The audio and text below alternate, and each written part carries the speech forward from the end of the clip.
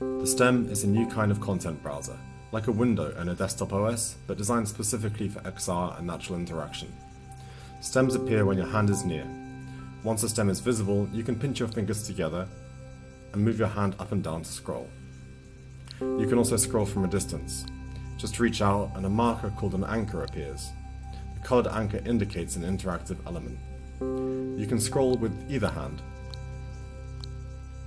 Content turns to face you, so it's easy to view wherever you are. Stems can hold many different types of content. Text can appear at different depths and different positions. Stems can hold images, videos, 3D models, animations, buttons, menus, almost anything you can imagine.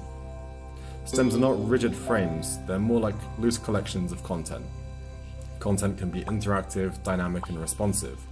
Buttons and pull-out menus can be used to modify or spawn new stems and new content. You can pick up a stem by pinching it and turning your hand to face you. If you release the pinch, the stem stays fixed to your hand. You can turn your hand over to minimize the stem. By doing this, you can carry stems with you, useful for quick reference. This system can be extended so you can carry multiple stems and easily switch between them. You can scroll a carried stem by pinching and moving your hand up and down. You can place the stem back into the environment by pinching and turning your hand over. It's easy to pick up a stem from far away, to inspect it more closely or to reposition it. Clippers sit at the top and bottom of each stem.